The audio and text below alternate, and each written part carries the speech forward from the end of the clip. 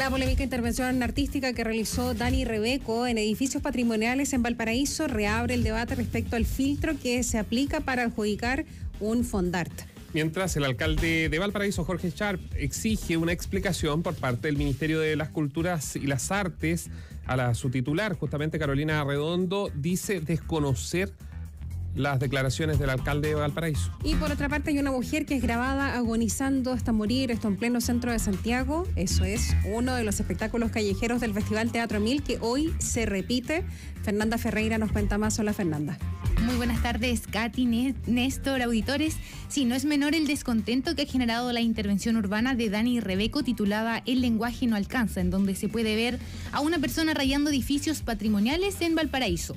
El artista se adjudicó un fondart en 2023 de cerca de 21 millones de pesos para realizar esta obra, lo que reabrió un debate respecto a qué consideramos arte y a quienes se les otorgan estos fondos estatales.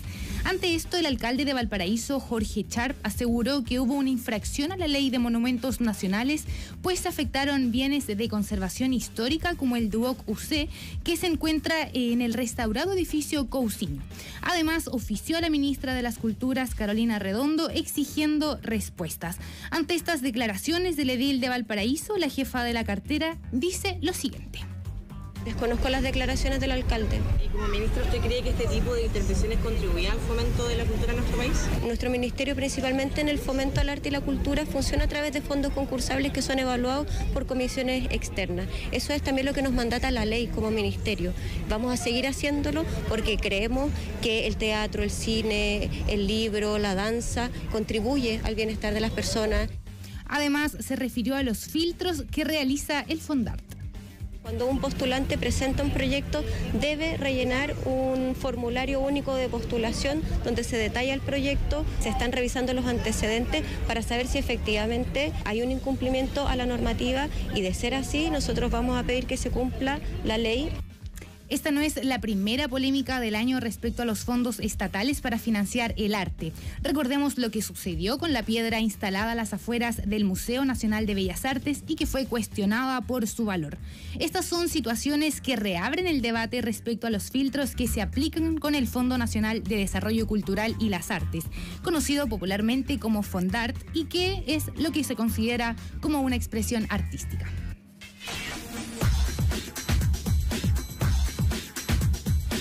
Una intervención callejera en pleno corazón de Santiago dejó a los transeúntes marcando ocupado.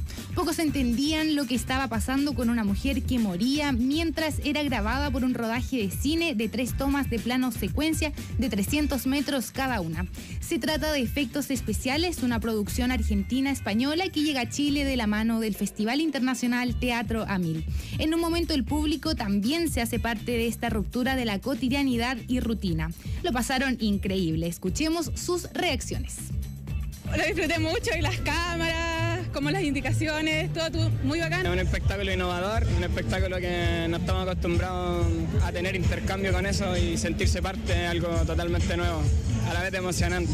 Como que rompimos caleta el contacto físico con la gente, creo que eso fue, fue lo sorprendente de esto porque es difícil con el, un extraño. Entonces todos ponernos en la misma escena o con la misma mentalidad, ya hagamos esto, fue entretenido ver todos como quisieron ser actores. En el punto de inicio, el intérprete sale de fuegos artificiales y ahí empieza su agonía. Pasa por distintos estilos de música, más alegres, más tristes, baila con los, edificios, rejas, autos. No vamos a contar más detalles porque esta obra se presentará también hoy. Ponga atención a las coordenadas si quiere ser parte de esta experiencia. Centeno con Alonso Dovalle, comuna de Santiago, hoy a las 8 de la tarde a pasos del Metro Universidad de Chile. Es gratis y se recomienda llegar media hora antes. Para más información, recuerden visitar teatroamil.cl. Gracias, Fernanda. Gracias. Que estén bien. Hasta pronto.